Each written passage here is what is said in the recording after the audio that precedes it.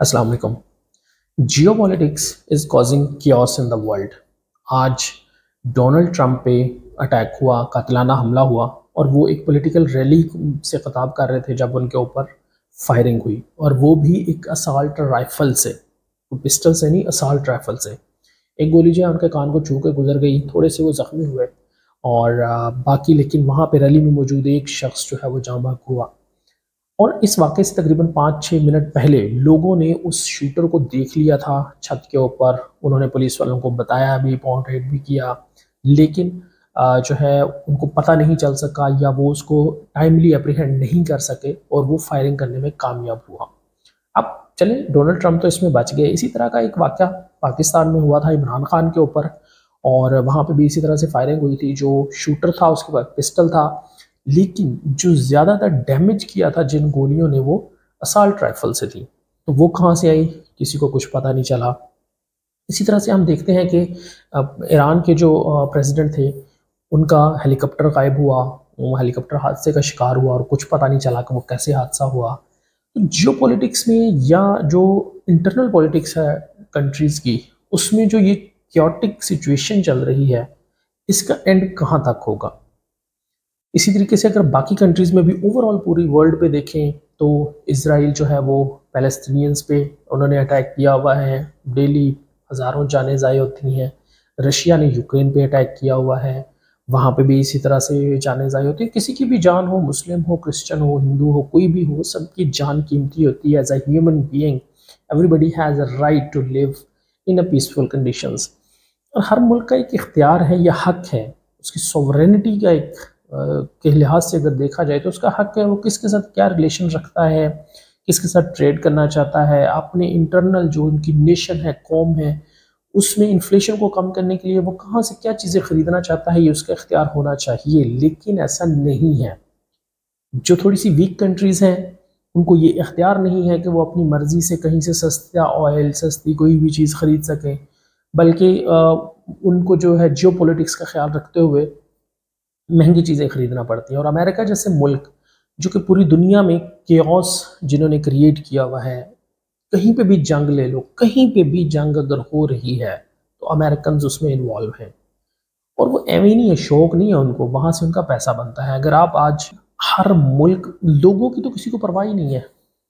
मतलब अवाम की किसी को कहीं पे भी परवाह नहीं है। इस टाइम इन्फ्लेशन रेट देखो अमेरिका में तो पीक पे है। किसी भी कंट्री में आप आप पाकिस्तान में देख लो तो जो लोग हैं बेचारे वो पिस रहे हैं। इसी तरह इंडिया में भी देख लो। आपको ऊपर ऊपर से तो सारा बड़ा मलाई, मक्खन मलाई नज़र आती होगी कि बूस्टिंग इकोनॉमी और ये वो वो इकोनॉमी बूस्ट आम नेशन की नहीं हो रही, आम लोगों की नहीं हो रही। वो इकोनॉमी बूस्ट सिर्फ़ स्पेसिफिक ऊपर वाले लोगों की हो रही है। जिनकी शादियाँ चार चार महीने चलती रहती हैं और वो सारा वही मीडिया में दिखाया जाता है और वही सब कुछ चल रहा है। कि जो अमीर हैं, वो अमीर होते जा रहे हैं, क्योंकि क्योंकि वही सारी चीज़ों में इन्वॉल्व है। इन आर्म्स डीलिंग में जो चीज़ें सबसे ज़्यादा महँगी बिकती हैं, उस चीज़ में सारे लगे। अब अब वो हीरे जवाहरात इतने नहीं बिकते। गोल्ड शायद इतना नहीं बिकता, या जो डायमंड है, वो इतना नहीं बिकता। अब ए के फोर्टी सेवन हो असॉल्ट राइफल एम सिक्सटीन हो, कुछ भी हो ग्रनेड मतलब ये चीज़ें अब ज़्यादा बिकती हैं, जो जितना अच्छा बना ले। तो ये दौड़ है सारी की सारी जंग की।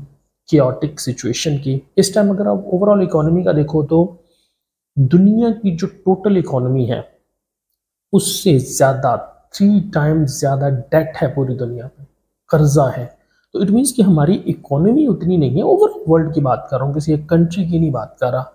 हर, बल्कि है ऐसा ही कि ये जो बूस्टिंग इकोनॉमी और ये फलानी इकोनॉमी इनके ज़रा डेट निकाल के देखे कितना डेट है। इन पर डबल डबल इनकी जीडीपी से भी ज़्यादा इनके ऊपर डेट होता है। और ओवरऑल दुनिया की अभी निकाल के आप देखो तो आपको पता चलेगा कि थ्री टाइम्स इस टाइम डेट है दुनिया के ऊपर, जितनी उसकी टोटल इकोनॉमी नहीं है। तो ये सारी सिचुएशन क्योटिक है। एनुअली कितना ज़्यादा बजट जो है, जो बजट यूज़ होता है आर्मी के ऊपर, जो बजट यूज़ होता है वार हेड ख़रीदने और उनको बनाने के ऊपर, यही सिंपल किसी एक कंट्री हर कंट्री का अगर वो बजट निकाल के आप आवाम की फलाह बहबूद पे लगाएँ, सेहत, तालीम, उनकी ग्रोथ पे लगाएँ तो दुनिया में कहीं पे ये गुर्बत और ये अफलास रहे ही ना। और एज अ होल जो वर्ल्ड है, ये ग्रो करे। ये तो शुगर करें कि अभी तक कोई ऐसी सिचुएशन नहीं आई कि ठीक है वर्ल्ड टू वर्ल्ड कोई फाइट नहीं है, कोई कोई और दुनिया नहीं है हमारे करीब करीब गॉड नोज़ के और गैलेक्सीज कितनी है और उसमें कहाँ पे जो है वो लाइफ है। लेकिन अगर कहीं करीब करीब होती तो आज, अब तक तो ये ख़त्म हो चुकी होती गेम।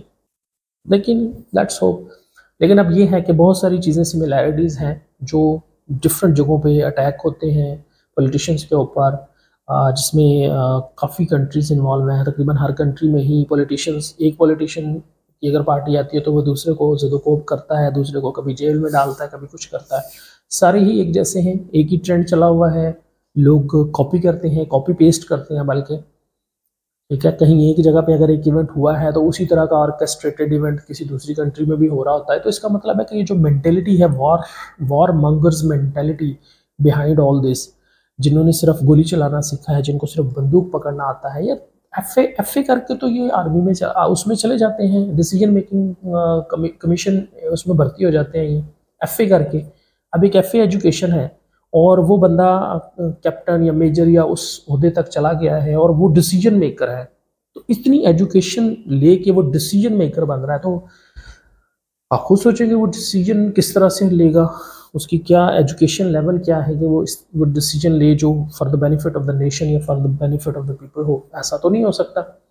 सो मे बी पूरी दुनिया को थोड़ा सोचने की ज़रूरत है कि इनकी जो जो डिसीज़न मेकर हैं एटलीस्ट ऊपर किसी भी कंट्री की आर्मी के अंदर उनका थोड़ा एजुकेशन लेवल बेहतर होना चाहिए। उनको एफए पास पे या इंटरमीडिएट पे भर्ती नहीं करना चाहिए बल्कि थोड़ा सा उनको चलो एम के लेवल या मास्टर्स के लेवल तक तो ले जाओ ताकि वो उन्हें पता चल चल सके कि डिसीज़न कैसे ठीक है?